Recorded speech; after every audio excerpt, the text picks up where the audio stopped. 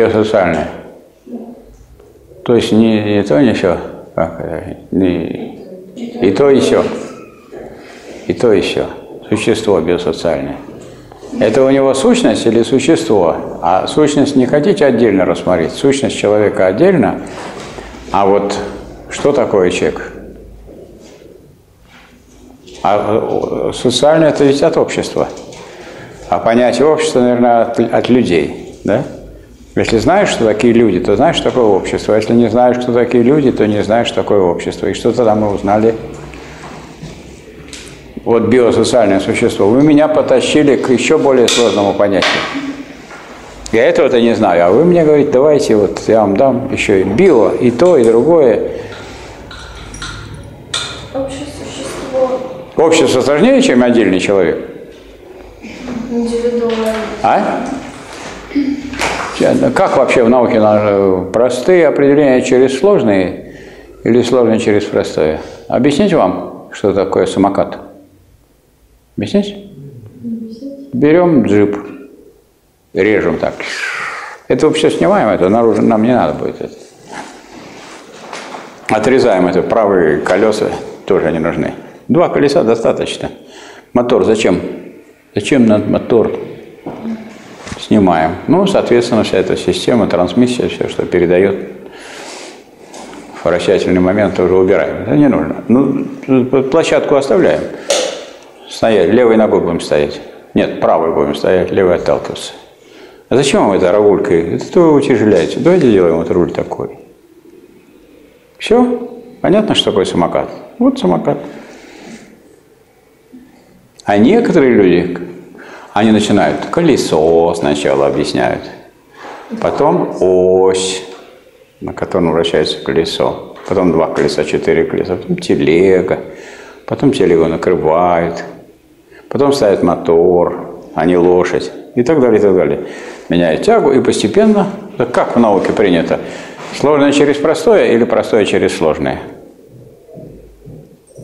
Сложное через простое. Сложное через простое. А сложное это что такое? Сложное, дорогие товарищи, это сложенное из простых.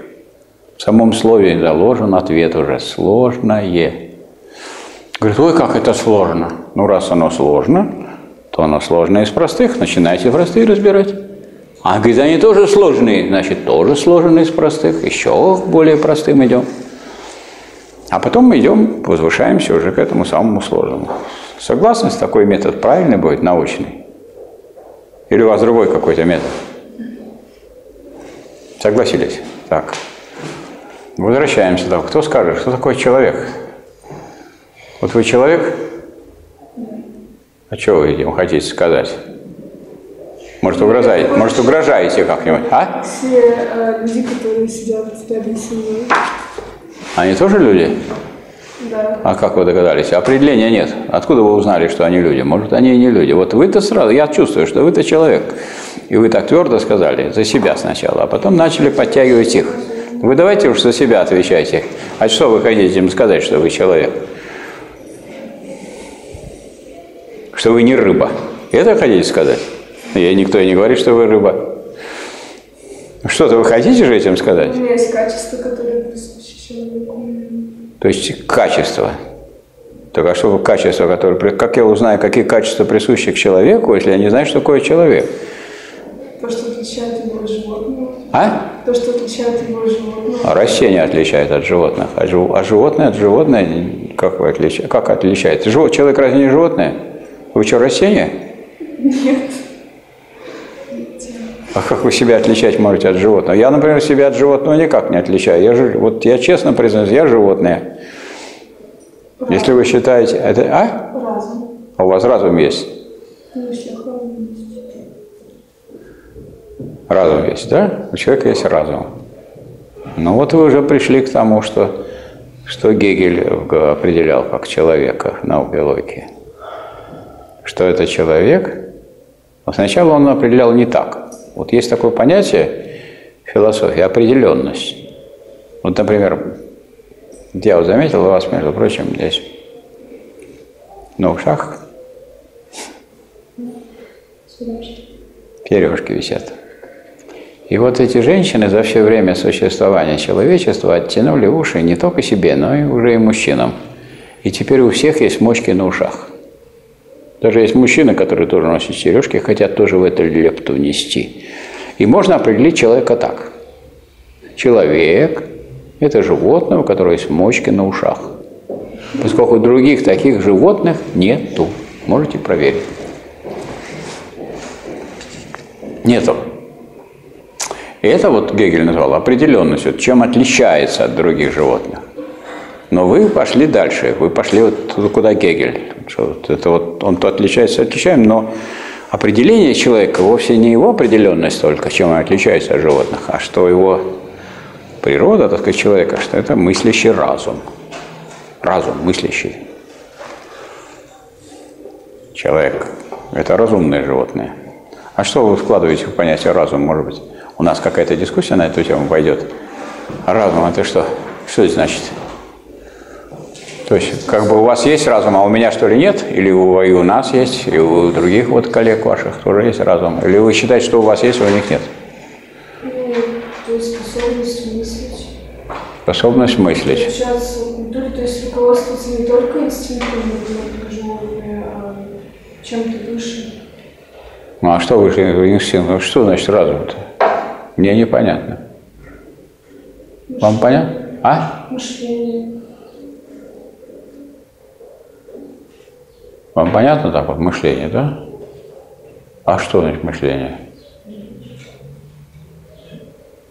Ну вы должны объяснить. Вы же вообще экскурсовод. Это я не экскурсовод. Мне-то что объяснять? Вы мне, да, вы должны простым гражданам, как я, объяснять. Вы считаете, что вы мне экскурсию проводите. Объясняете, что вот люди это то, то, то. А я слушаю, а я спрашиваю вас, а что такое мысль? Мне непонятно. Вам понятно, что такое мысль? Мне непонятно. Он собрался сколько экскурсоводов, никто не может объяснить, что такое мысль. Может быть, понимать сущность вещей. А? Понимать сущность вещей. О, сущность надо знать. С ума сойти. Ну, Надо знать понимание сущности вещей. То есть надо вообще знать, что такое понимание, что такое сущность. То есть точно надо прочитать три тома науки логики. Потому что первое учение о бытии, второе о сущности. Вот надо же понимать сущность вещей. Для этого надо знать, что такое сущность. И о понятии. Учение о понятии. Третья книга. Вот, то, чтобы, то есть, что вы, говорит, меня спрашиваете? Чтобы понять, что такое человек, надо прочитать три тома науки логики Гегеля. Ну, мысль это здравая, я согласен с ней. А вы прочитали? А что тогда вы говорите, что я человек разумный? Может, вы человек еще не разумный пока? А чтобы это не было для вас, не звучало оскорбительно, ну, я бы так вам предложил сказать, я нахожусь в становлении. Ну, студент, это что, что студентам, что можно предъявить, как ей сказать? Я учусь. Но вы выучились, мы рады за вас, а я вот учусь. И когда я выучусь, я, может, еще гораздо круче буду, правильно, чем вы. А пока я учусь, какие могут претензии? Если даже вот вы ошибетесь, каких вам претензий? Так если человек учится, он и делает ошибки. А вот если я ошибусь, скажет, ничего себе, уже обвешал себя этими всякими званиями, там, должностями, и теперь он, значит, черти что говорит. Вот это действительно недопустимо. Ну, то есть вот так в целом, то если вы экскурсовод, то не должны там вроде бы так какие-то сомнения, как-то надо так прочно что-то говорить. Убедительно. Убедительно, так кстати. Достоинством сомневаться-то в этом. Чего, вы сомневаетесь, что вы человек разумный? Нет? Или вы сомневаетесь, что я разумный? Я не сомневаюсь, в какой степени тогда, раз уж вы говорите разум, более совершенствованном или... Ну, наверное, вы понимаете, что разум, вот если немножко копнуть историю, вот если наше происхождение людей, то, наверное, разум появился ведь не сразу, да? То есть в становлении разума что-то ведь сыграло свою роль. Что просто вот одни родились животные с разумом, другие животные без разума. И все. Как сейчас бывает, люди без мозга рождаются, к сожалению, бывают такие ситуации. Голова есть, а мозга нет. Трагедия. Ну и как бы мы с вами вот родились с мозгом, нам хорошо. А это никакой процесс, не был какой-то процесс тоже становления, что вот у наших предки не были когда-нибудь животными, у которых не было разума? Или всегда были с разумом? Ну, ваши-то всегда с разумом, я понял. Меня, я за своих предков волнуюсь. Там спорят же, кто у нас, значит, дельфины или, может быть, обезьяны. Обезьяне подпадают под это понятие ваше, человек, разумного существа? Не подпадают, правильно? Нет. Как-то вот это вот, как и чтобы этот разум не появился, неизвестно откуда. Как, как-то так надо определить, чтобы было понятно, откуда этот разум и взялся. А потом вот если у вас мысли есть, а вы мне ничего не говорите, это вот как я узнаю, разумный вы или неразумный? Вот представьте, студент, я вопросы задаю, нам молчит. Как узнать, кто из нас разумный, кто нет? Ну, я вот говорю, а вы что молчите? А вы молчите, потому что молчание золото. Я понял. Тут надо вовремя правильно ответить, и все, отбиться. Не входит в понятие человека, что это вообще животное, которое разговаривает, нет? Язык не входит в понятие человека? Не входит. А что, мысли бывают не в форме языка? Вы не обдумали вопрос о мыслях? Вы как вы будете обдумывать что-нибудь про меня, даже если вы про плохое подумали? Вы это в словах ведь выражаете, что вот, вот привязался там или еще. Про себя, конечно. Говорите про себя, но про меня. Опять эти дурацкие вопросы. Ну, что-то надо такое. Вы... Или есть у вас мысли без языка? Вот Гегель, тот же самый, которого я назвал, он говорит, что мысль всегда отлагается и проявляется прежде всего в языке. Если это не в языке, то это не мысль. Вот если мне захотелось есть, то это совсем не обязательно, что я это буду выражать в языке. Живот подводит, я побежал в столовую. Или побежал за деньгами, потому что в столовую почему-то без денег ничего не дают. И денег, кстати, не дают. Не, неизвестно, куда бежать. Говорит, бывают мысли без языка? Это какая же мысль? Ну-ка расскажите. Ну, обязательно же их озвучивать. А? Не обязательно же их озвучивать. Не обязательно? Озвучивать. А нечего озвучивать, если они без языка. Что же озвучивать тогда? Нечего и озвучивать. Мысль, которую нельзя озвучить, то и она и невозможно озвучить, то она и не мысль. Даже если вы что-то про себя там думаете или как-то обдумываете, решаете, это все происходит в форме языка. Не так? А, ну, в смысле, на языке, если мыслить, то да. Ну вот. То есть это вот и, и другой формы нет. Но и есть еще формы. Кроме форм познания мира, вот вы сказали понимание, это познание мира, а есть еще, еще две формы постижения мира. Вот у Гегеля есть такая работа, очень непонятная, называется «Феноменология духа». Вот я ее два раза читал, первый раз вообще ничего не понял, но второй раз понял, что есть три формы постижения мира. Первое – религиозная, то есть мы земную нашу жизнь изображаем как жизнь на небесах. Да? И получается, что некоторые персонажи, которые как бы живут на небе, они очень похожи на земных людей. Вот скажите, Богородица похожа на молодую маму? А? На живую молодую маму или нет? Как это говорится? А потом говорят, или, допустим, вот, вот меня зовут Михаил, а есть преподобный Михаил. Это он преподобный кому? Кто кому подобный? Вот математику изучали, геометрию. Два треугольника подобные. Если один подобен другому, то другой подобен этому. Если кто-то подобен Богу, значит Бог подобен человеку. И поэтому религия представляет собой фантастический, так сказать, фантастический образ существующего мира. То есть пересаженный как бы на небо. Это тоже форма постижения мира. Что там не мудрые, не мудрые там всякие мысли в Библии? Мудрые же есть, правда? Там не все мудрое, но мудрые есть тоже. Это вот одна форма постижения религиозная. Вторая – постижение в образах. Вот если бы вы хотели сказать, что это человеческий способ постижения мира без мыслей, это вот вы идете в филармонию. Сидите и слушаете там прекрасную, так сказать, музыку, да? И у вас одни мысли, у меня другие. А вопрос не о мыслях, а о чувствах, правда? А образ художественный передается без языка. Ну, какой там, не, о чем угодно вы можете. А потом выходите и говорите, потрясающе, то есть вас потрясла эта музыка. Так? Все? Что еще? А какие мысли у вас были, какие у меня, какие у вас, какие у вас, это все разные могут мысли. Мысли к этому не, не имеют отношения. Поэтому можно постигать действительность и через образы. Наскальная живопись была еще в древние времена. Правильно? Потом вы будете... Вот люди будут, в котором вы будете проводить там экскурсии с ними, так сказать, разговаривать им, объяснять, вы будете ему вот это показывать, это будете показывать им изваяние, будете искать художественные объекты разного рода там, и живопись, и скульптуру, и архитектуру. Это же что такое? Это же объекты искусства. А искусство постигает в образах.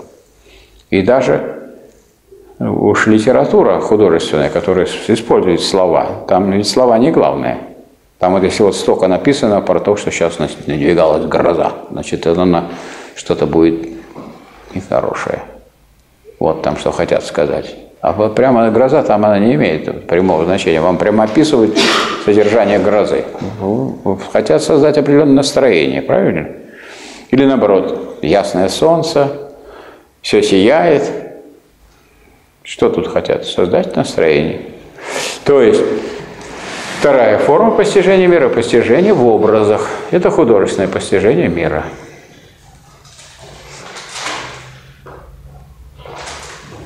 Постижение в образах. Создание образов – это редкость, то есть это мало кто таким возможен, такими э, способностями обладает. А вот постижение в образах этим все обладают, правильно? Дайте нам хорошее произведение искусства, и мы его поймем. А вы еще комментарий дадите уже в словах. И, наконец, постижение в понятиях. Вот это научное постижение мира. Третья форма постижения мира в понятиях – и уж если речь идет о постижении в понятиях, то только в форме языка. Тут такого, чтобы вы э, не могли выразить в языке, в форме языка, такого не может быть. То есть вот я вам лекции читаю, и мы проводим занятия для чего? Чтобы вы могли передать другому. А если они не в форме языка, их нельзя передать. Поэтому вот вы насчет понимания правильно сказали, мысль, что надо понимать. Понять, согласно Геглю, тире выразить в понятиях. Я вам советовал бы это записать и запомнить на всю жизнь. Понять, значит выразить в понятиях. Если вам не удалось выразить в понятиях, вы не поняли. Если вам удалось выразить в понятиях, неважно вы вслух произнесли, написали, про себя подумали, понятиях думали. Вот, так сказать, такой секой попался преподаватель. Это вы выразили что-то в понятии. Пример. А смотрите, так все хорошо, так все нормально, а думаете неизвестно что. Но мы всегда надеемся на лучшее же. Но это надежды, а что на самом деле? А, это, а что вот там скрывается в голове? То есть всегда любая мысль выражена в языке. И это способ существования вообще понятий, способ, способ обдумывания. И обдумывать иначе нельзя. Кошке обдумывать нечего. Она идет на запах, там это, есть голод, инстинкт и чувства. Чувства есть у кошек, правильно? У кошек, у собак. Всех есть. И у нас есть чувства. Мы не должны путать чувства и понятия. Вот человек его толкнешь, он мало того, что он огрызнется, он еще скажет, ты что меня толкаешь, а зачем это, зачем мысли такие, и так ясно, что толкает.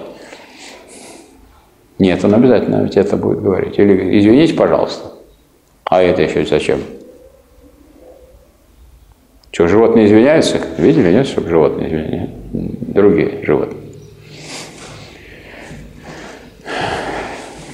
То есть вот язык нужен, характерен для этого. А чтобы, а язык, он как, в ходе чего вырабатывается? Он так сразу и появился язык, или он вырабатывался человечеством? Вырабатывался. А что он вырабатывался? Сидели и болтали? А как могли болтать, если нет языка? Значит, ну, какая-то деятельность была, которая требовала языка. Как эта деятельность называется? Не знаете? Ну какая деятельность требует вот, а? Коммуникативная. Коммуникативная, научно. Кому никак, кому не сяк.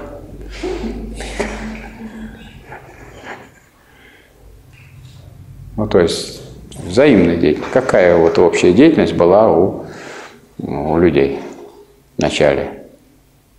Какая общая деятельность, какая дела, как она называется? Напрягите. Конкретно? Конкретно, да. Охота. Охота. Это, ну, это совместная деятельность была. Охотились, на, допустим, на, на мамонта. Совместно же охотились? Ну. А по- потом поля обрабатывали. Совместно или нет? Совместно. Выжигали там сначала, выжигали леса, обрабатывали. Как эта деятельность называется? Производство или труд. Труд. Труд. Правильно бы сказать, труд создал человека. Ну какой труд? Имеется в виду не то, что он вот сидел один там что-то делал. Нет, это же вот эта деятельность, а в ходе этой деятельности без языка не обойдешься, без коммуникативных систем. Да? Никак. Поэтому в труде вот возникает необходимость в языке, не в, не в обмене, так сказать, суждениями, в обмене мыслями, в понимании и так далее. Но это, а человек-то был изолирован, он там семьей жила, жил человек одной семьей, или он жил большими группами? Первобытный человек. Да. То есть это вот, если это животные, это, это вот есть животные такие, которые изолированно живут, а есть те, которые живут стадами или, или коллективистские животные. Вот вы представляете себе, как деятельность улья, как, как отрегулирована здорово. Есть матка, есть рабочие пчелы, есть трутни, которые потом выбрасывают из, из улья, выталкивают, и все, нечего. И кто не работает, тот не ест, туда их. Есть у них определенные функции, которые они традиционно, как бы, инстинктивно выполняют. Потом приходят такие люди, как мы, забирают у них эти рамки и продают. Или сами съедают. Это уже мы тут вмешиваемся в эту сферу. А муравьи? Ну так вот, один муравей может построить такой муравей? Это же сколько там, какой там деятельности. Вот это коллективистские такие животные. Вот поэтому, если давать определение человека с учетом того сказанного, то получится примерно следующее. Что человек – это животное коллективистское, раз. Трудящееся, два. Говорящее, три. И разумное, четыре. Вы сразу вот взяли, так сказать, венец взяли. Но этот венец, он тогда венец, когда к нему подводишь. Если к нему не подводишь, то это не венец. Он тогда опускается, наоборот. Человек есть животное коллективистское, трудящееся, говорящее и разумное. Вот. Вот что такое человек. А определенность человека – это понятие человека. А определенность – это, так сказать, достаточно и бочки на ушах, чтобы отличить человека от других животных. И вот теперь вы нам поставили вопрос, который мы должны рассмотреть. Такой, где-то вы на это вот, на это вы такое нашли эту идею насчет биосоциальной сущности человека, да? Это вы откуда взяли такое? Это в воздухе носится весь, то воздух пропитан грозой или воздух прописан биосоциальной сущностью человека? Где такое вы, с какой науки вы такое взяли? Биосоциальная сущность. Сами придумали или кто-то вам сказал? А? В школе проходили биосоциальная сущность. В школе там много таких вещей делают. Вот, например, у меня внучка в школе, там она изучает окружающий мир. Я говорю, как это интересно, вы изучаете. Мир окружающий изучает, а себя не изучает. А вы не, не в мире, что ли, находитесь? Окружа... Только окружающий. Вот вы меня окружаете, а я отсюда выпадаю. Я-то сам себя не окружаю же. А почему просто мир нельзя изучать? Вот мир вы изучали? Нет, окружающий обязательно мир. Почему это так? Удивительно. И тут тоже что А что вы хотите сказать этим вот биосоциальная сущность? Что вы хотите сказать? Вы не вдумывались, что вот хотят этим сказать люди, которые такую формулу употребляют? Ну, что сочетание биологического и социального. Как? Сочетание биологического и социального. А так правильно говорить, сочетание биологического и социального? Подумайте, можно так сказать? Ну, хорошо, я сейчас вам пример приведу, логический. Вы ягоды знаете, что такое? А клубника знаете, что такое? Уже продают. Корзиночка 350 рублей. Вчера я видел. Вот сочетание клубничного и ягодного как смотрится? Сочетание клубничного и ягодного. Как смотрится? Это вот какую яд? А? Нехорошо смотрится, правильно? Ерунда какая-то получается. Как это можно сочетать клубничное с ягодным? А что, клубника не ягода, что ли? Как можно сочетать клубничное с ягодным? Хорошо. Другой пример. Ну, хорошо. Вот, вот есть фрукты, да? Это уже клубник сюда не попадет. Есть яблоки. Сочетание яблочного с фруктовым. Как смотрится?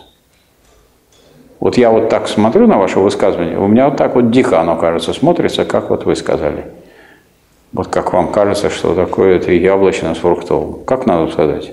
Вот как вы скажете, яблоки и фрукты, у вас поворачивается, так сказать, яблоки и фрукты? Нет. А вы не заметили, что вот у нас сплошь и рядом даже люди очень на высоких постах говорят экономические и социальные процессы. А что, экономические не социальные, что ли? Они что, на Луне? Что, экономические это не социальные, что ли, процессы? Как правильно сказать? Социально-экономические это правильно, но вы тут ушли от этого. А если я хочу слова эти оставить, но как-то надо что-то добавить, чтобы было нормально.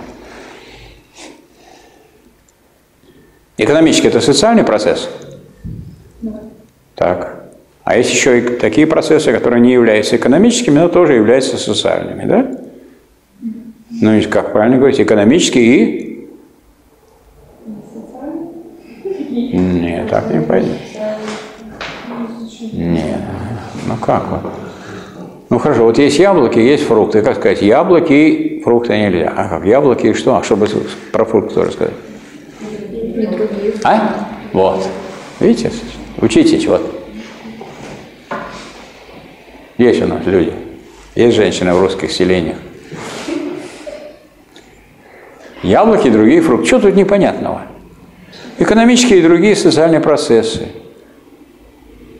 Я недавно был на кафедре экономической социологии, и моя бывшая дипломница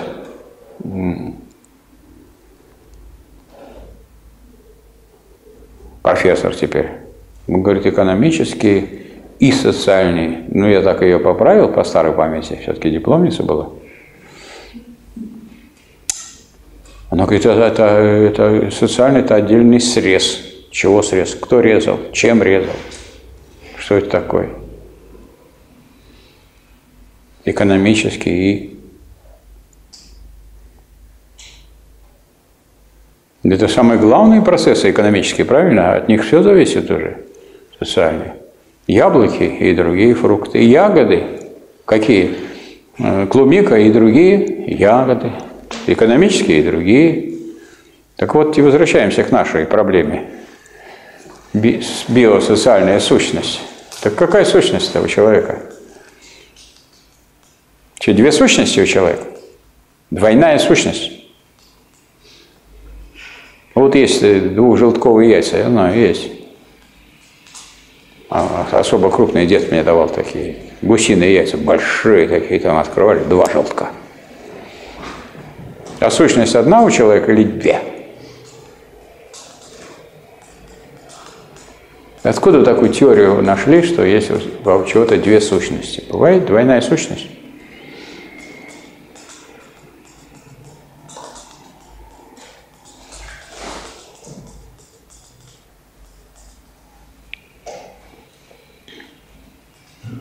Ну, хорошо, значит, человек, конечно, биологическое тоже существо, да? Это тоже правильно. А он э, не идут никакие там химические процессы в организме. Вот вы когда позавтракали, не идут потом процессы химические? Так может он и химика, биосоциальное существо тогда? А? Хорошо. А физические процессы такие идут еще? Например, такие как вот электрические токи, энцефалограмму же снимают? Токи есть? Так может физика, химика, био, социальное существо. А вот я вижу, ты что-то вы шевелите рукой. Это не механику? Вот головой покачайте, это будет механику. А химические процессы не биологические? Химические это биологические, и механические тоже биологические. Все, что вы рукой-то машете, они тоже. А что, вот эти ваши биологические не социальные, что ли? Это мы уже выяснили. Ну так если мы выяснили, значит сущность какая у вас? У вас какая сущность? Лично у вас? А, а то вы уклоняетесь там за чистоколом. У вас какая сущность? Или давайте мы всю батарею. Вы вообще матрешку, матрешку видели когда-нибудь, нет? Чисто.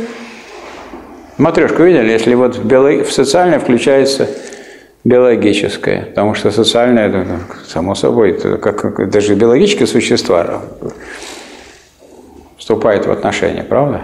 Общество же предполагает людей. А что в, в биологическое включается химическое, включается физическое, включается механическое. Но если все включается, все включено, но если все включено, зачем вы эту матрешку раскладываете обязательно, вот как дети малые, вот они значит, достанут, и вот она всю батарею выставит, и, ну, это социо, био, химика, физика, механическое существо. А что, если сказать социальное существо? Сущность у человека общественная, это правильно? Это нормально звучит или плохо? Что сущность человека, действительная сущность человека, это совокупность общественных отношений. Это вот это глубокое уже, это уже не, это вот не бытие, а сущность именно. Сущность человека. Бытие мы уже определили, как человек. Это, животное коллективистское, трудящееся, говорящее, разумное. А сущность у человека? Где это все происходит? Вот если человек у волков проживет до трех лет, до пяти лет, будет он человеком, даже если потом попадет к людям? Никогда. Может человек, иногда вот говорят, есть процесс, говорит, ее социализации. А что он, человек разве не, не в обществе рождается? Он еще только родился, уже регистрирует и сразу его и гражданином. Он уже гражданин даже. И смотрите, ответственность за то, чтобы его, там, сказать, к нему на кто-то напал, такая же, как на другого любого гражданина, правда? За нападение на младенцев.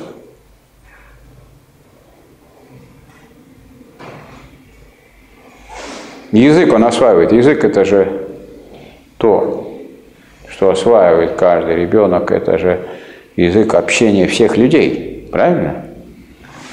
А не язык общения только младенцев. И наоборот, если человек не освоит язык, то он будет не вполне человек. Язык может быть разный, даже язык глухонемых, он тоже человеческий язык, правда? Только он особой формы.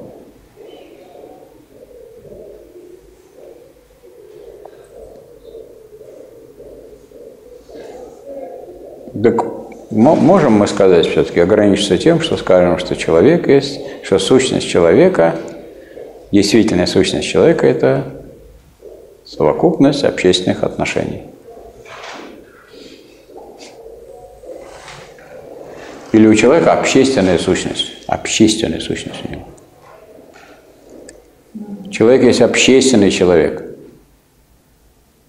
Вы вообще учитесь для общества или, для, или как? предполагаете дальше действовать? Особенно при вашей специальности. Как? Вы собираетесь людям рассказывать, которые будут к вам обращаться.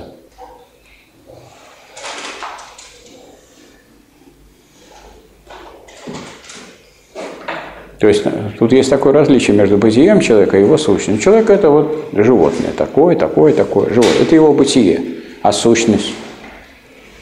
А сущность у вас гораздо лучше, чем вы есть, так, просто по бытию. Ну и так видно, что вы хороший человек, а по сущности прекрасно. Это плохо, что ли? Так, если сказать, правда? Вы когда будете рассказывать, вы что будете про рассказывать? Это было вот это разрушенное, это, вот это разрушенное, вот это, это разрушенное, вот это, это встает, это. Или будете рассказывать, что здесь вот великие какие были события происходили, какие-то войны или революции и так далее, правда? А это вот, это память об этих вот событиях, все. Это их, так сказать, материальное воплощение, которое до нас дошло. Но до нас дошло это, вот мы же понимаем, что дело это не в черепках, а в том, что это, это была амфора, что это были вот прекрасные дворцы. В них происходило то-то и то-то. Вы это должны знать. Или вы должны знать, что вот а это, говорит, это что, вы черепки. Ага. Вас спросят, говорят, что это такое, черепки? Да мы сами видим, что черепки. Вы зачем сюда пришли, экскурсоводы? Скажите нам, что это такое, что тут было. Тогда Тут вопросы об общественной сущности и экскурсовода тоже, правда? Человека, который должен донести вот природу этих, общественную природу событий, которые запечатлелось вот в таких с виду мертвых формах. Но они же не вечно были мертвыми, они свидетельствуют о той деятельности, которая была, борьбе, которая была, конфликтах, которые были, или о созидательной, такой творческой деятельности человека, человечества в целом как, какие замечательные вещи могли создавать еще тогда. Вон как слово Пальмира, как во всех языках все знают, что такое Пальмира. Ленинград называли, там, северные Пальмиры. А сейчас на эту Пальмиру наступают эти самые игиловцы, разрушают там эти памятники. И человечество воспринимает это как нападение на человечество, потому что человеческая память, она вот хранит память о прекрасном. А прекрасное – это деяние рук человеческих, и мозга человеческого, и мысли человеческой.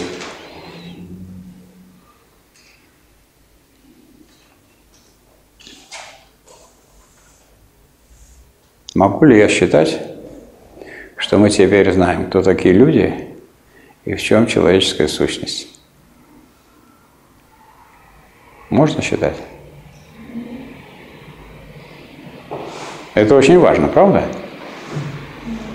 Иначе, так сказать, как мы можем там себя вести? Остается еще выяснить, что такое общество. Что такое общество, кто скажет? А то общественная сущность, все уже согласились, но, может, поторопились. А что такое общество?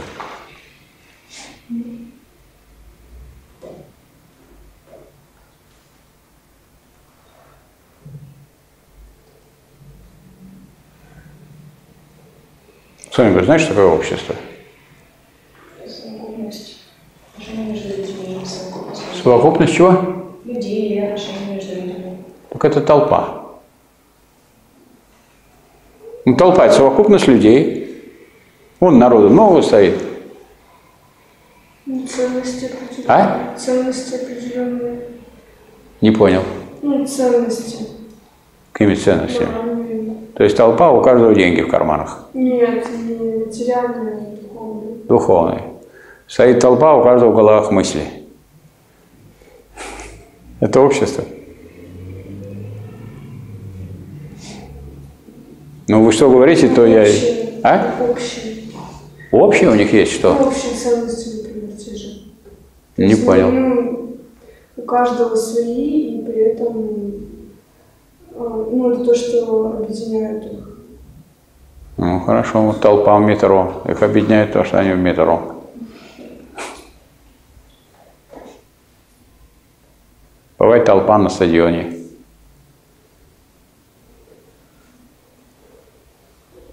Мы же различаем, скажем, вот население. Это что такое?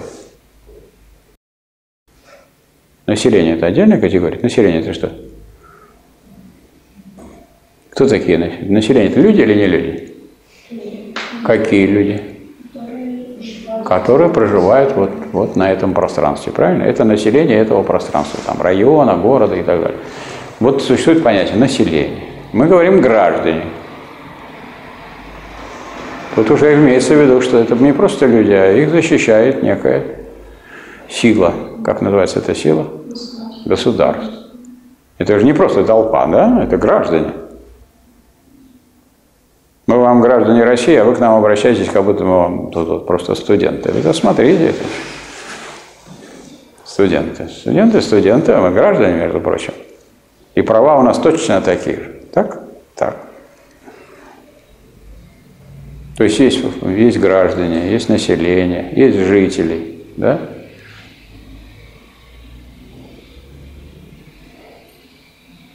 Есть просто понятие люди. Ну а что, вот люди, мы все люди. Вы не, не будете с этим спорить? Вот если людей всех собрать, это и будет общество, да? Ну, как бы большая толпа. Люди всего мира. Все стоят толпой. Это и будет общество. Так? Не так.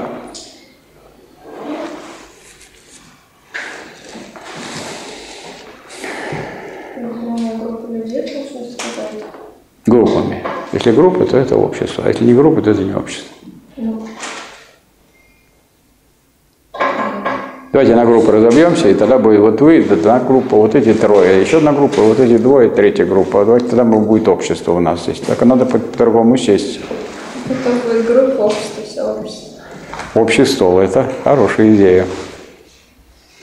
Даже у меня даже засосало под ложечкой. Как раз дело к обеду, да, хорошая мысль приходит. Но вы согласитесь, что вопрос не праздный, который я задаю. Ну как, вот человек выходит, так сказать, из университета, и его спрашивают, кто такой человек. Ну, с этим разобрались, да, что такое человек. Ну, говорит, я, говорит, человек знаю, а общество не знаю, что такое. А вообще я вот выпускник там, то все, закончил государственный университет. Но вы даете вы там в своем университете, там дошли уже. И важно спросить, ну, кто такие вообще экскурсоводы? Вы можете сказать, это крупный вопрос, я вам ответил, а это мелочь, это я не знаю. Но вы тогда не, лицо не потеряли. Если вы не можете сказать, что такое общество, я спрашиваю вас, вы, а что такое общество? А? Это обособившаяся от природы часть материального мира, включающаяся. Это обобществившаяся, я уже это усвоил. Значит, общество через общество. Что такое елка? Это елка. Это елочное что-то. Понимаете, это обобществившееся. Общество – это обобществившееся. Это же Обособившаяся. обособившееся? От кого? От чего? Вот Нет, сейчас от природы. От природы мы особо обособились. Чем? Столовыми? Канализацией? Чем мы обособились от природы? Канализация у нас по всему городу. Как мы же от нее обособились-то? Ничего себе обособились. Наоборот, соединились. Думаем, как сточные воды куда-то направить в другое место, чтобы не в природу так много не возвращалось. По-моему, наоборот, человек здесь, а природа, как он может это высадиться от нее? А вы что, не на природе будете выступать там? Или обособляться от природы? Давайте, говорит, вас спросят, говорит, давайте обособимся от природы. Сейчас зайдем в кафе куда-то, в ресторан, там поговорим, там яснее будет это все. Так, там опять что-нибудь принесут, еду, напитки, а это же чисто природные вещи, так сказать. Человек потребляет, потому что он животный. Как вы, как вы от природы можете а, обособиться, если вы человек, если животные мы? Или кто-то не животный здесь? Не, ну мертвый может обособиться, конечно, от природы, но все равно он в природу вернется. Но рано вы нас хороните.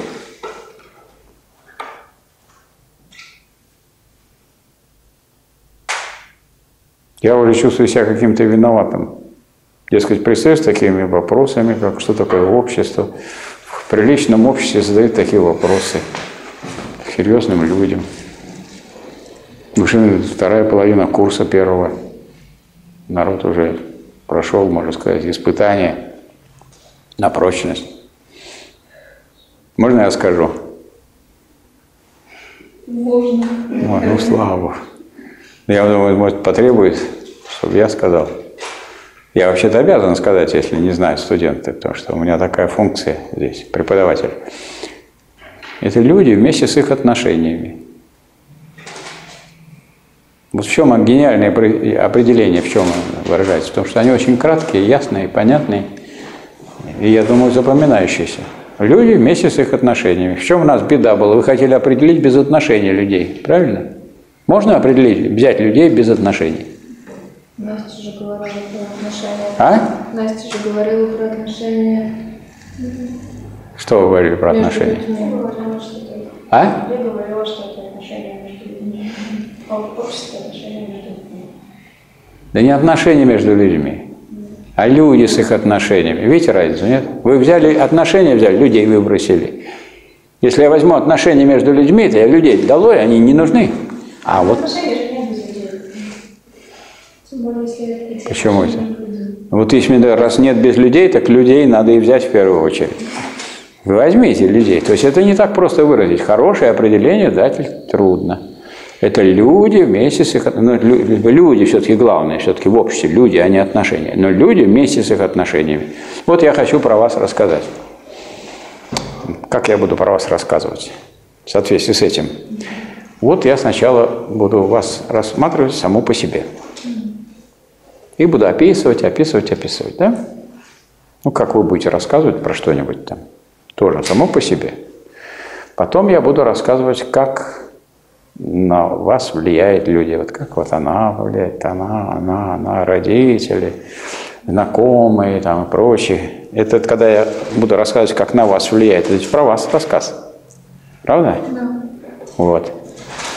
Может, и я попадусь туда в число, которых на вас влияет. Может, отрицательно я влияю. Ну, как-то влияю.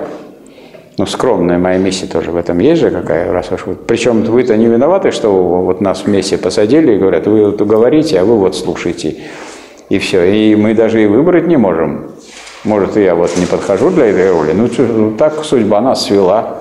Дальше. Если я хочу про вас рассказать, и не расскажу, как вы влияете на людей, на меня, на нее, на нее, на других, так на родителей, на детей там, и так далее. Как? Разве можно человека рассказать без его влияния на других людей? Нельзя.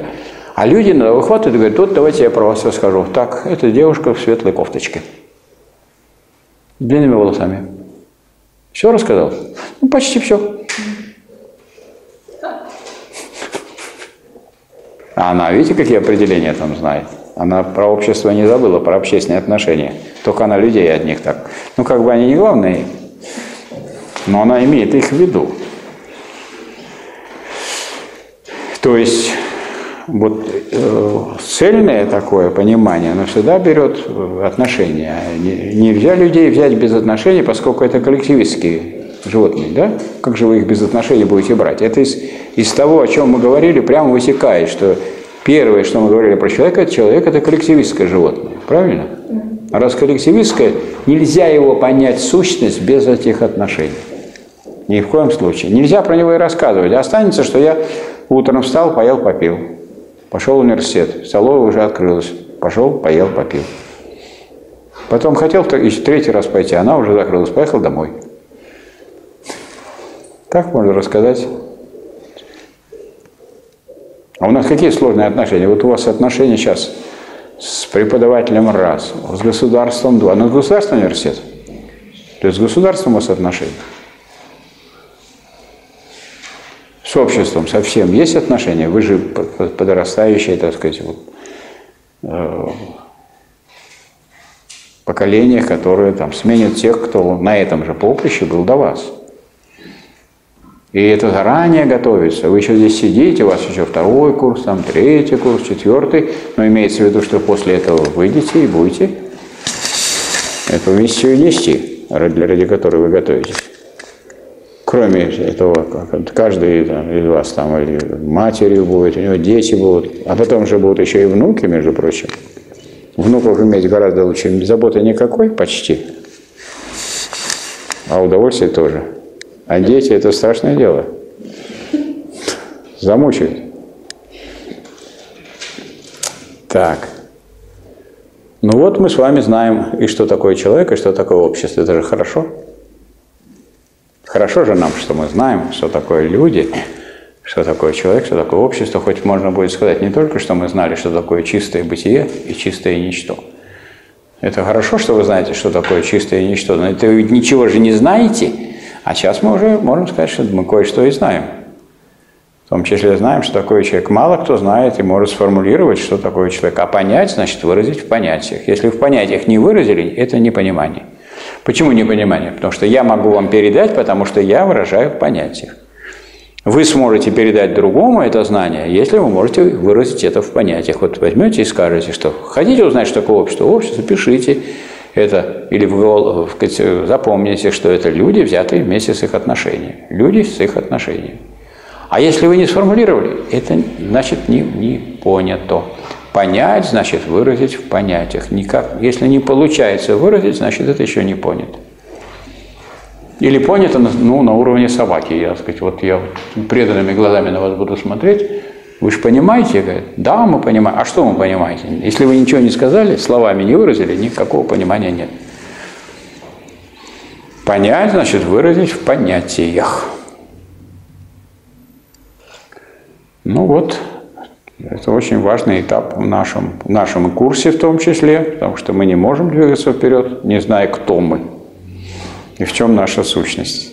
Правильно? Теперь мы хоть так спокойно будем двигаться гордо, пониманием своей роли. Теперь, значит, на этом нашем пути, которым мы пойдем, стоит такой вопрос, как а, социальное становление социальное становление. Вот тема, которую мы должны с вами рассмотреть.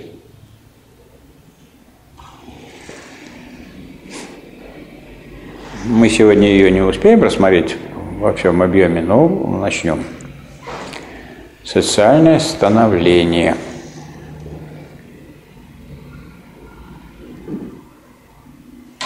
Ну вот мы с вами изучали вопрос о становлении. Насколько это вот у нас а, освоено, усвоено? Кто-нибудь может сказать, что такое становление? Кто возьмется и встанет и скажет, что такое становление? Это не определение становления. Это правильное высказывание, а становление в его довольно развитой уже форме. А в самом а изначально как оно определялось? -то? Когда оно родилось? А? Вот. А потом уже это мы, когда мы там уже стали называть моменты, различать, оно уже предстало перед нами как единство возникновения и становления. А изначально оно как движение исчезновения бытия в ничто, ничто в бытие. Значит, если мы говорим о социальном становлении, то, скажем, что имеется в виду? Та или иная форма общества, правда?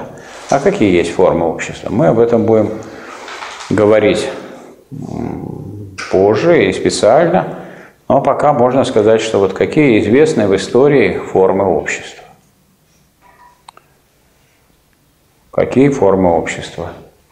Вот первоначально какое было общество? Первобытно-общинное. Обще... Собственность какая была? Общая. Общая собственность. Если общая собственность, общий труд, общее распределение – как назвать такое общество? Как будет общее в переводе на иностранный русский язык? Коммунист. Коммунист. Коммунистическое общество. Первобытный коммунизм. Что значит, что тут выражает слово коммунизм? Вот это то, что вы сказали, общее. Общая собственность, общий труд, общее распределение. И кто управлял тогда? обществом? А? А вообще никто главный был? Мужчина или женщина? А? Да ладно. Женщины были. Матриархат был. Матриархат. Ну а кто? Мужчина, еще производство неразвитое было. Что вообще производит человечество? Человеческое. Человечество что производит? оно производит какие материальные продукты оно производит. А. Людей. Б. Материальные блага. Да? На первом месте что было производство в первобытно-общинном коммунизме? Производство людей или производство материальных благ? Людей. Производство людей, оно и сейчас остается и будет вечно. Так? То есть деторождение, воспитание – А производство вещей вообще было неразвитое. Собирали же, собирательство было. Мужчины пошли за орехами, за корнями, ловить на охоту. Это систематическая деятельность или это такая неразвитая деятельность по производству? Ничего еще не производится. Это еще собирательство, заря человеческого общества. А кто распределял потом собранное? Женщины распределяли. Матриархат. Патриархат появился с разложением первобытно-общинного коммунизма и появлением частной собственности. Но если частная собственность, если у нас частная собственность, то, конечно, мужчина тут уже становится главный. Потому что уже и работник он главный, и производство материальное становится главным. Хотя вроде бы рождение и воспитание детей никуда не девается, но на первое место выходит по влиянию на жизнь общества материальное производство. Это такой скачок, можно сказать, очень сильный. Вот у Энгельса есть замечательная работа, про которую вот вы, наверное, слышали, но явно не читали. Я вот вас имею в виду. Вот вас, по вашим замечаниям. Не читали вы «Происхождение семьи, частной собственности и государства». Вот я вам очень рекомендую ее прочитать.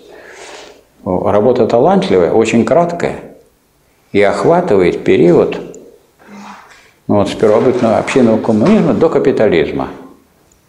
Происхождение семьи, частной собственности и государства. Ну, то, что должны знать вот люди, историки, причем в такой блестящей форме, великолепно написанной. И в ней Энгельс пишет, что определяющим в человеческой истории является производство, воспроизводство непосредственной жизни. Вот как определяется, жизни. Ну, а это что такое непосредственная жизнь? Людей и средств для жизни, жизненных средств, то есть материальных благ. И то, и другое. И раньше на первом месте было, были какие отношения? Производственные или кровнородственные? Кровнородственные отношения в первобытно-общинном коммунизме были на первом месте. Кровнородственные отношения. А сейчас? А сейчас производство. А куда они кровнородственные пропали, что ли? Не пропали. И иногда про них вспоминают, особенно 8 марта а потом так на время забывает. Да. То есть, а общий принцип, определяющим человеческой истории, э, является производство, воспроизводство непосредственной жизни, он остается. Это вот главный материалистический принцип внимания общественного развития, что пружиной вообще общественного развития является материальное производство. А материя в широком смысле. Люди тоже ведь материя, правда? Это высшая общественная форма материи, то есть непосредственной жизни. И вот этот фактор является определяющим во всей человеческой истории. И Энгельс последовательно показывает, как поэтому менялись формы общества, как шло развитие общества, как формы семьи менялись, как пришли к моногамной семье от полигамной семьи. Что моногамная семья была в первобытно-общинном коне? Нет. Не было отдельных браков таких, как сейчас. Или, скажем, наличие частной собственности, оно решало вопрос о том, чтобы, так сказать, никаких там период там, феодализма разводы были разрешены? Какие разводы? Все. Или вы будете Иван, думать, за кого вам выйти замуж? Подумали уже, за кого вам выйти замуж? Выйти замуж вот за Иванова. Ну. Родители решали или дети решали, за кого выйти? А и надо еще подумать, а цари, бедняги, все эти царские семьи там решались с точки зрения политических соображений, за кого выйти. И только. Все остальное не принималось в расчет. Ну, то видели они, а полюбила я не полюбил. Кого это волнует в феодальном обществе? Ну, а что касается всяких этих династий царских, там еще надо было думать о том, чтобы не получилось, что у них браки с родственниками. Поскольку царская семья, что ж, так сказать, в рамках царской семьи будут только находить. И все время, если посмотреть, вот родословно наших царей, потому что там русских почти нет. Почти никого. Все только. Все это кто-нибудь. Хотя были вполне русские люди в лице там, немки Екатерины имея в виду ее вклад в русскую так сказать, государственность, ее культуру и так далее. А затем какое общество было? Потом, можно сказать, отрицание произошло. Как только э, развились производительные силы настолько, что уже можно было создать жизненные средства для того, чтобы можно было прокормиться одной семьей, муж и жена, вот появилось что появилось?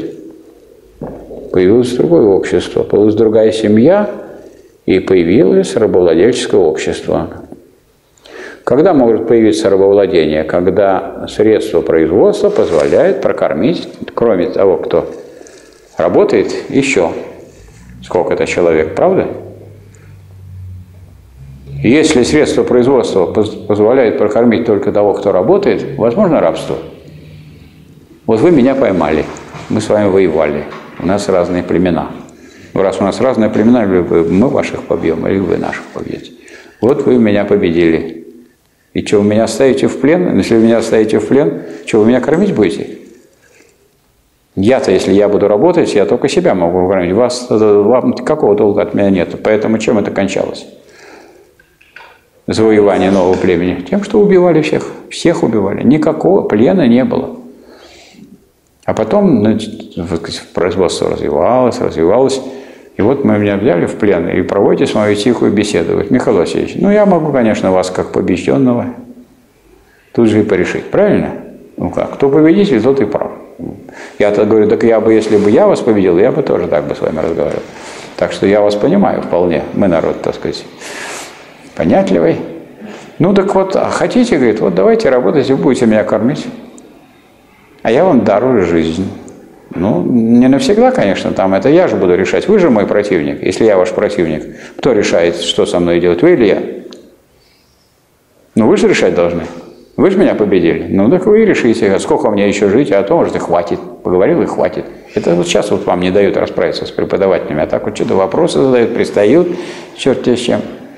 И все она изверствует на зачетах, экзаменах. Это вообще какой-то ужас.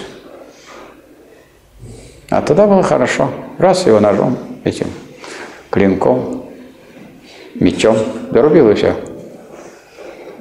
Вопросы решил задавать на экзамене. Ха.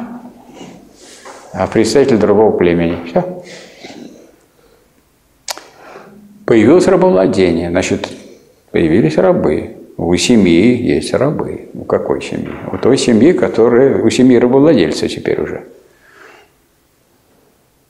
Но насчет, того, насчет семей рабов как-то и, и разговора нет. Можно этих отдельно женщин продать, отдельно мужчин продать. В общем, не заботиться о семьях. И очень-то и не заботились, наверное, о семьях рабов. Появилась демократия, вот форма государства. Происхождение семьи, частной собственности и государства. демократия. Первовладельческая демократия – это что? Демократия – это подчинение меньшинства большинству – или подчинение большинства меньшинству? А? Подчинение большинства большинству. А что, бы у этих рабов меньшинство было, что ли? Рабов-то меньшинство было или большинство? Чего, сомневаетесь? Ну, чтобы меня накормить, сколько вас надо? Вот мне нужно, чтобы вы все были у меня в рабстве. На мне дам дом надо построить приличный. Кто-то на кухне, кто-то в слугах и так. Ну что вы? Как вы что? Если у меня двое рабов, это вообще это несерьезный я человек. Богатство рабовладельческого общества в чем выражалось? В чем выражалось богатство капиталисти... э, рабовладельческого общества?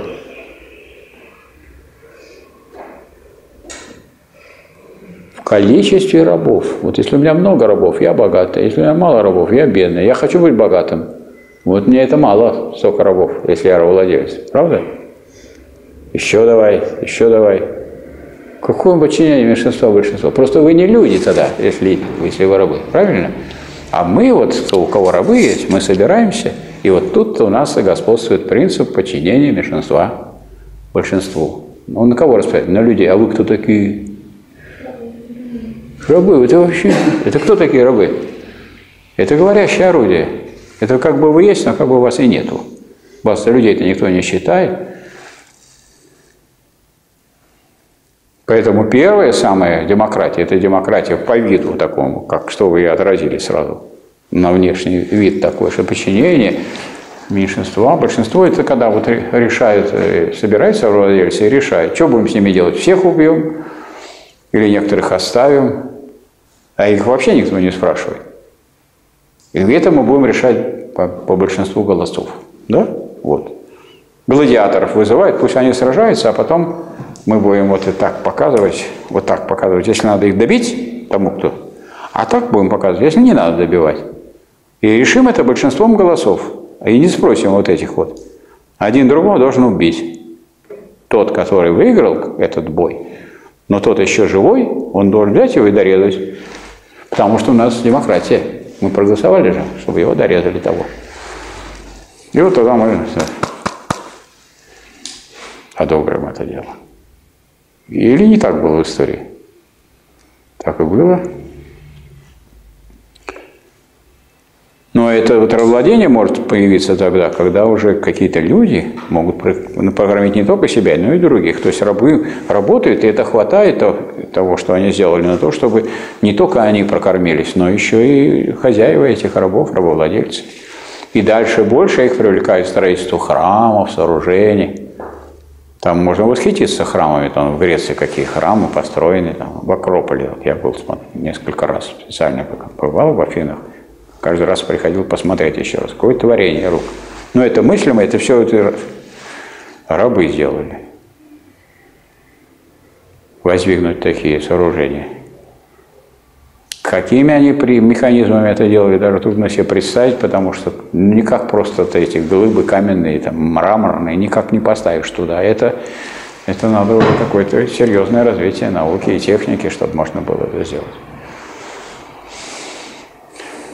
Это, вам, это вы будете рассказывать уже, как, он, как вот получилось?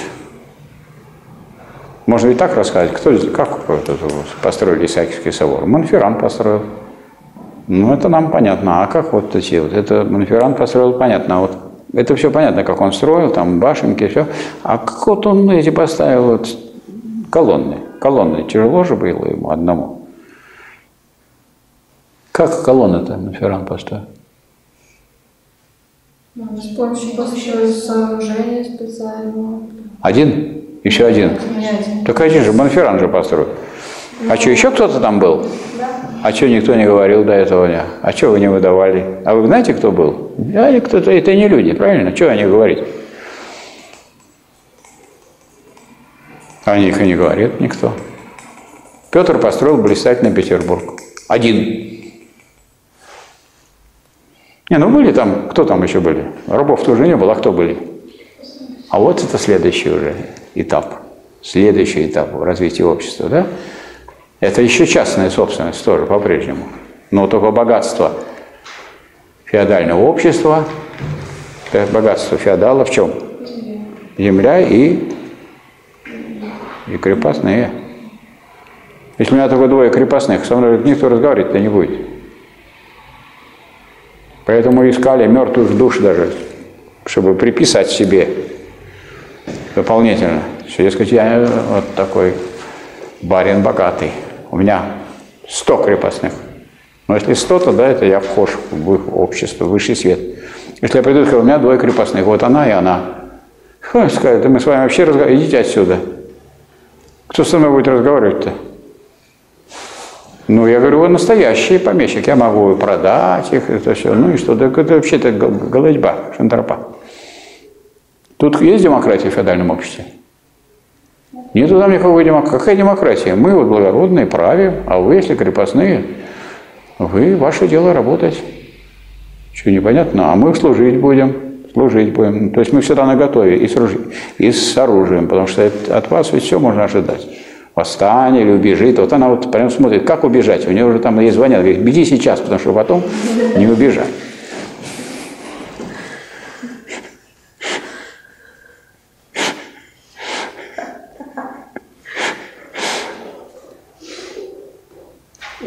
А дальше после этого, наконец, свобода наступила.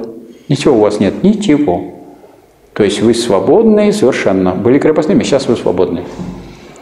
И вот можете гулять, ходить, хотите в летний сад, хотите туда, но у вас ничего нет, запомните. Ну, вы погуляли дня два, а и меня завод. Приходите ко мне и познакомься, Михаил Васильевич, а у вас нельзя это на заводе устроить?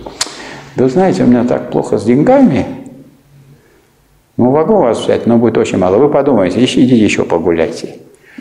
Вы погуляли еще два дня, ну и совсем уже пришли, еле-еле. Да ладно, мы согласны. Ну, хорошо. И что получилось? Какой строй? Капитализм где? Вы свободны совершенно от всего, а я не свободный, у меня фабрика. Я единственный не свободный. Ну и все, у кого фабрика, те не свободны. У кого корабли, пароходы, все не свободные, а остальные свободные. А раз вы свободные, то и ничего у вас нет, ну и приходите, будете на меня работать. За два часа с вашей работы вы сделаете то, что достаточно, чтобы оплатить вашу зарплату. А остальные 10 часов будете на меня работать. Вот так по факту получается. А чтобы вы это не видели, вам напишут, как в нашем трудовом кодексе. Зарплата – это вознаграждение за труд. Как бы я вас вознаградил. А на самом деле вы работали 8 часов, 2 часа пошло на вашу оплату, а 6 э, часов пошло мне в карман. Кто кого вознаградил? Мы же знаем, что сущность человека общественная. Начинаем в глубину смотреть и видим другую картину, чем то, что нам изображает. Но и я-то тоже изображаю. Вы совершенно свободны, что вы хотите. Вы вообще свободны, можете вообще не работать. А я могу долго смотреть, как вы будете умирать, потому что я уже много продуктов от вас получил. И у меня хватит надолго. И другие найдут. Здесь все вымрут, из Киргизии приедут, из Таджикистана, Узбекистана. Нет проблем. Это крепостные, с ними Марокко. А вот вы у меня умрете, я останусь без крепостных. Это, а сейчас нет такой проблемы. Ну, умрут они, новые приедут. Те умрут, еще новые приедут.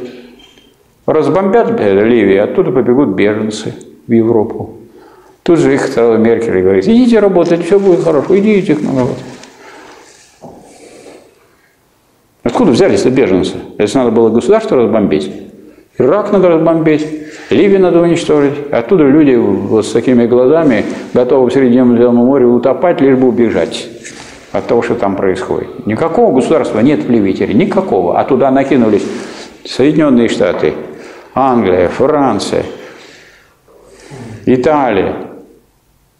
И канадцы уже там тоже. А потом говорит, откуда беженцы бегут? Давайте я вас сейчас дом разорю, и вы побежите от меня. Как куда деваться? Ну вот идут эти разные общества, идет развитие, но это, при этом идет борьба, а остаются предметы которые люди создали в ходе этого развития. И эти предметы материальные представляют материальную культуру общества, они накапливаются, материальную культуру. А культура вообще это что такое? Это накопленный опыт человечества, материальный и духовный. Материальный и духовный.